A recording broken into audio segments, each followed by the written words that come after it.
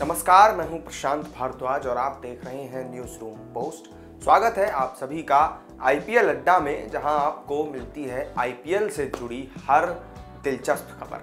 आज आईपीएल अड्डा में बात होगी मुंबई इंडियंस की। दुनिया की सबसे बड़ी क्रिकेट लीग आईपीएल के 16वें सीज़न का आगाज़ 31 मार्च से हो जाएगा। और इसके लिए सभी टीमों ने भी अपनी अपनी तैयारियाँ शुरू कर दी हैं। आईपीएल के शुरू होने से पहले ही टूर्नामेंट की सबसे सफल टीम मुंबई इंडियंस को एक बड़ा झटका लगा था।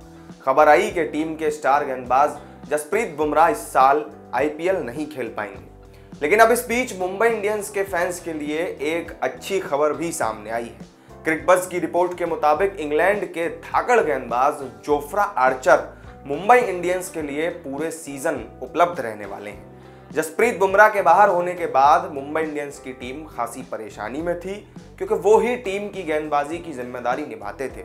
ऐसे में आर्चर की वापसी उनके लिए संजीवनी बूटी की तरह है। आर्चर ऐसे गेंदबाज हैं जिनके नाम सभी फॉर्मेट और आईपीएल को मिलाकर कुल 141 विकेट हैं।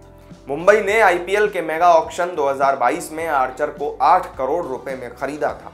मुंबई को पता था कि आर्चर चोट के कारण पंद्रहवें सीज़न में नहीं खेल पाएँगे, लेकिन फ्रेंचाइजी ने भविष्य को देखते हुए उनके ऊपर निवेश किया। लंबे समय तक चोट से जूझने वाले आर्चर ने इस साल साउथ अफ्रीका टी लीग के ज़रिए कम किया। जोफ्रा आर्चर भले ही पूरे टूर्नामेंट में उपलब्ध रहेंगे, लेकिन उनके काम का मैनेजमेंट इंग्लैंड क्रिकेट बोर्ड ही करेगी।